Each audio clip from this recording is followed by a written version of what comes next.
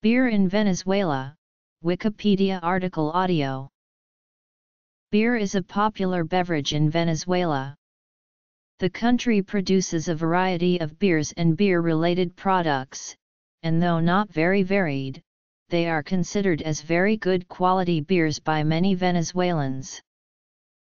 Beer production in Venezuela started in 1843 with Cerveza Tovar. Many years later in 1925 Cerveza Zulia opens its first industrial plant and quickly becomes the most popular beer. Before that date, beers were imported from Brazil and Europe.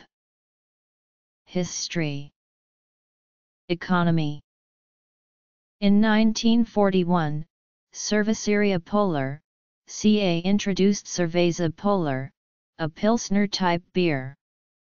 The company went on to introduce several other brands of beer of various strengths, as well as a non-alcoholic malt beverage called Maltin Polar, marketed at children and with a flavor similar to root beer.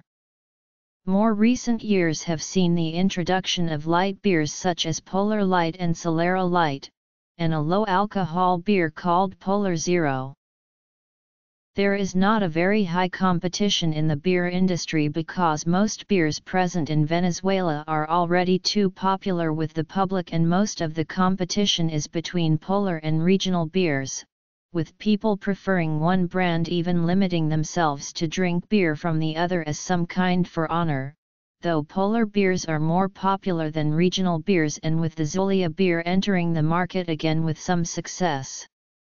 Beer consumption per capita in Venezuela is the highest in Latin America with 90 liters in 2007 and 95,45 liters in 2009.